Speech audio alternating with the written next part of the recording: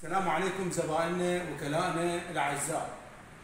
منتج جديد من شركة ريد منتج بشركة ديفورنو لحساب شركة ريد steel كله steel اللي هو معروف.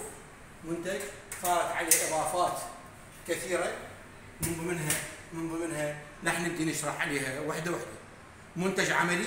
منتج تحولت قوة السحب مالته من 900 إلى 1300 وهسه نبين بالشرح المفصل شلون زادت وشنو اللي تطور على النوع القديم، إحنا كان عندنا AD 960 S منتج معروف من آه ريد ستيل، هسه هذا منتج جديد. TT 900 SS، شنو الفرق؟ الفرق أول شيء بال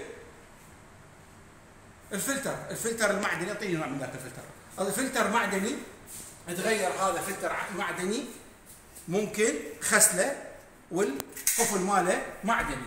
كان قبل من النوع اللي الألمنيوم المضغوط هم أربع طبقات ونوعيه ماشية بس هذا أضبط وأكثر عملية. زين؟ لأن شفنا إنه بعض المطابخ ينزلوها فتصير حرارة على هذا البلاستيك.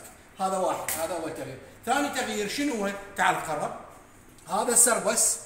هذا السربس تحول إلى معدني. هذا السربس تحول إلى معدني. شنو السربس تحول إلى معدني؟ هذا السربس هذا المعدني وهذا السربس القديم. القديم كان بلاستيك. صار هسه بلاستيك كليته والقوة مالته معروفة. هذا صار غير شكل. القوة مالته غير شكل والدفع ماله صار غير شكل. السربس ماله صار معدني غير شكل. مطلب مادة من التفلون. الماطور ماله صار أقوى وهذا نوع كبس كبس حتى دهن ما يأثر عليه. حجم الفلتر الداخلي مال القديم كان هذا حجم الفلتر الفحمي الجديد هذا. التغييرات واضحة والشغل مضبوط أقوى. عملية أكثر مما تتصورون لأنه اشتغلت على هذا الموضوع. شركة ريد تجيب شيء عملي وشيء يسحب قوي وشيء نظامي. طريقة تشغيلها بسيطة جدا مباشرة. سرعه الإنارة الإنارة صارت طولية مو مدورة. والدرجات ثلاث درجات. ثلاث درجات هسه حاليا تغطي كهرباء ثلاث درجات. عملية جدا مباشرة نشغل. ثلاث تدريجات بيها وبيها إنارة. هاي الإنارة طولية مو مدورة صارت.